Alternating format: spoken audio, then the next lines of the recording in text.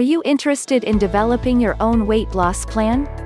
If you are looking to lose weight, there is a good chance that you may be interested in doing so. Although you can pay to have a weight loss plan supplied to you or you can choose to join an existing program, you may find the cost of doing so a little bit difficult, especially if you are on a budget. That is why many choose to develop their own weight loss plan. If this is your first time developing one for yourself, you may not necessarily know how you should proceed. What is nice about developing a weight loss plan for yourself is that you have freedom. With that in mind, you will still want to make sure that your plan is one that you can benefit from and one that you can lose weight while on. For that reason, you may want to think about turning to the internet when looking to develop your own weight loss plan or weight loss program. When it comes to using the internet to help you develop your own weight loss plan, there are a number of different ways that the internet can offer you assistance. For starters, a good part of a weight loss program involves eating healthy. For many individuals, eating healthy is something that is difficult to do, as they are unsure as to what they should cook or how they should cook it. There are a number of websites that you can find online, many of which are free to use, that give you access to healthy foods and recipes. Many of these recipes are accompanied by pictures, therefore, you should be able to tell right away whether or not the food in question is something that you would eat.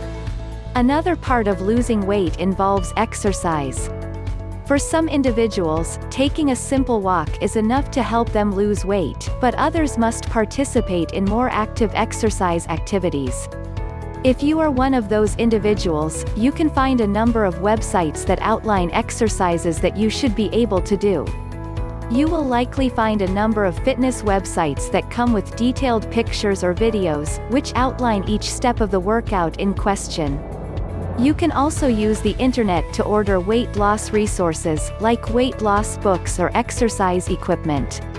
One piece of exercise equipment that you may want to look into buy is that of an exercise video. What is nice about using the internet to find an exercise video, which you can incorporate into your at-home weight loss program, is that you can not only buy videos online, but you can also find product reviews online.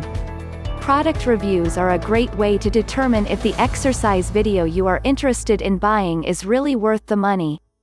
Once you have found a number of exercises that you would like to do or a number of healthy meals that you would like to make for yourself, you are advised to develop yourself a list, in writing or on the computer. This list can act as a schedule for yourself. For instance, you could outline each workout that you would like to do on Mondays, as well as which meals you would like to eat on that same day. Having a detailed weight loss plan for each day of the week is likely to improve the chances of you following your own plan. As you can see, the internet is a nice tool to have when looking to create your own weight loss plan.